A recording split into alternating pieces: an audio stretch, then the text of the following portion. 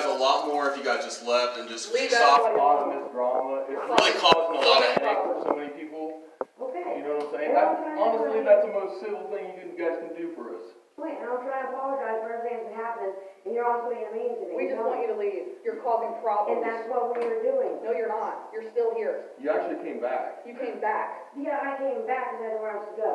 Not our problem. Okay, Why don't it's not your understand problem. that it's not our problem? Our personal problem is not your problem. Your personal problem is not our problem, okay?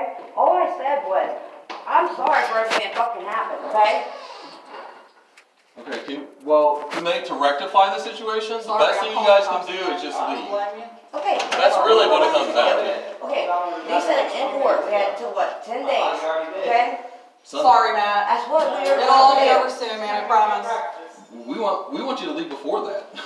Well, I That's mean, what we want.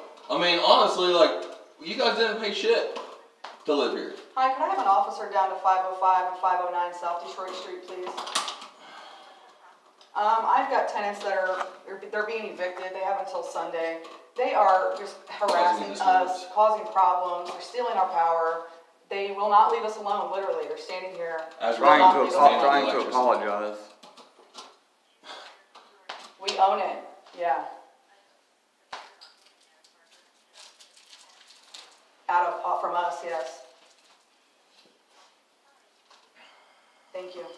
Ah, This one's on you, I done said all I need to say. I don't care, I'm going to jail, I didn't do nothing. Ain't nothing, we never happened on I didn't do nothing, all I said was I'm trying to find and talk to you guys, and, yeah. We just, we just want to be left alone so we can fix our We don't wanna talk to electricity you from guys, being what don't you stolen. understand about that? We have nothing to say to you. Well, fine, I'll stay Please- outside, please and I'll leave wait us for the cops alone. to get here. Yes. On the south side, and wait for the cops to get here. Okay. Babe, we got four days, well, hey, they can't do nothing. But That's right, you got four days. Go enjoy your four days. You ain't gotta do nothing, babe. Get back here, it's our apartment.